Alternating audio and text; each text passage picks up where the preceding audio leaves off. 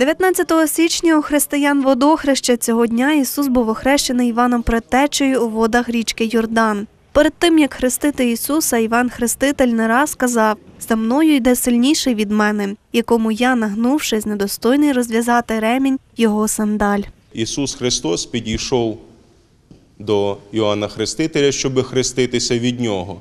Проте Іоанн, відчуваючи свою недостойність, опирався і казав, як може хрестити раб владику і творця свого. Христос скаже до нього спокійно, втихомирюючи його смирення, кажучи, нам треба це виконати, бо так сказано у пророцтвах. І саме у ту мить, коли Ісус Христос занурився у води Йорданські і встав після хрещення, Дух Святий у виді голубиному зійшов на нього. Голос Отця Небесного пролунав: Ти є син мій улюблений, у якому є моє уподобання.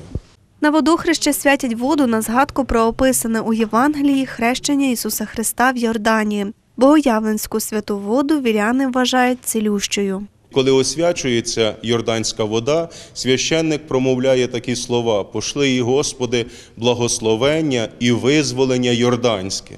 І незважаючи на те, що ми з вами живемо не біля річки Йордан, не в епоху Ісуса Христа, а живемо дуже далеко і в іншому часі. Проте, як сказав апостол Павло у своєму посланні, Ісус Христос один і той самий учора, сьогодні і завтра.